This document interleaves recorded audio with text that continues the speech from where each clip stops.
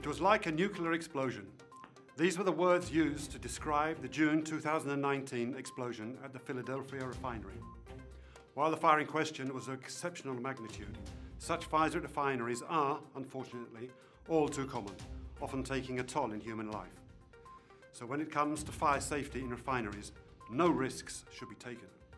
This is exactly why BERMAD responded to the tender for the supply and installation of deluge valves for the Sarpom ExxonMobil petrochemicals refinery in Italy.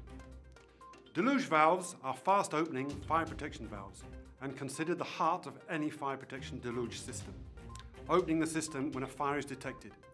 As soon as excessive heat source has been discovered by the heat detection system and the alarm has been raised, these valves receive an electrical signal to open on demand without fail, to deliver the extinguishing media to the sprinklers to control the fire. The deluge valves open with an electrical command. An added safety feature, in accordance with the system design philosophy and the standards requirements, is that the deluge valves include a locally and manually operated hydromechanical mechanism on the valve, which prevents them from shutting off accidentally automatically before the fire has been put out.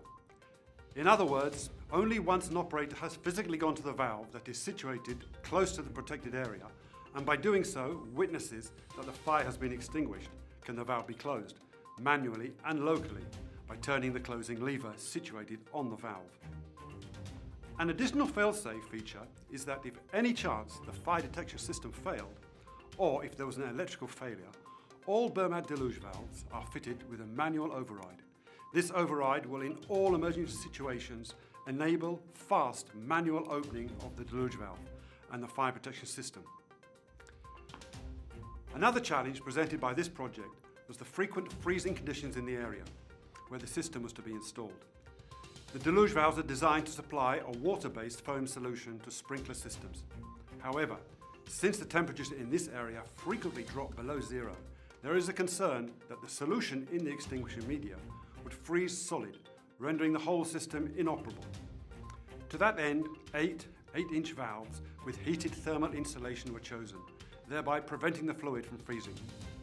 As with most advanced fire protection systems, the valves are required to meet the international standards FM and UL, including explosion and flameproof specification compliance, as they are required to operate safely and reliably in an environment that includes possible exposure to inflammable gases and fuels.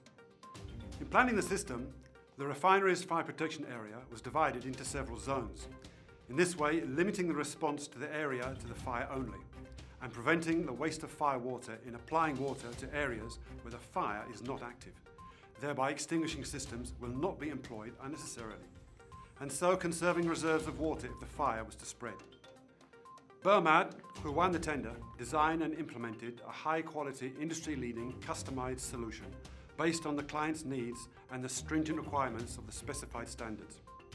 When it comes to fires in refineries in particular, no risk can afford to be taken.